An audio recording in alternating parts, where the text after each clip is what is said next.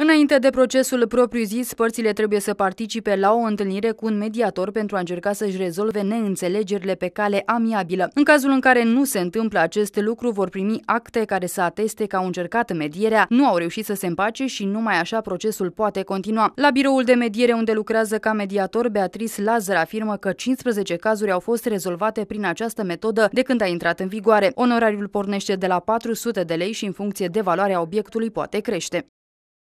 Sunt uh, cazuri rezolvate da, pe această cale sunt, sunt. aici la dumneavoastră pe, la birou? Atât pe uh, drept comercial, deci uh, privind societățile comerciale, cât și uh, persoane private, uh, persoane fizice, Dar juridice. spuneați că încă oamenii sunt sceptici. Sunt sceptici și reticenți, din păcate noi românii suntem un popor conflictual și până când ajungem la la judecată nu ne simțim bine. Înainte de a se ajunge la mediere, se trece prin etapa de premediere, asta însemnând o cerere din partea unuia dintre clienți prin care se cere deschiderea procedurii de mediere. Ședința de conciliere durează între 2 și 4 ore, deși în continuare gojenii sunt sceptici în ceea ce privește acest nou concept, în țările Uniunii Europene foarte multe cazuri de litigiu sunt rezolvate prin mediere.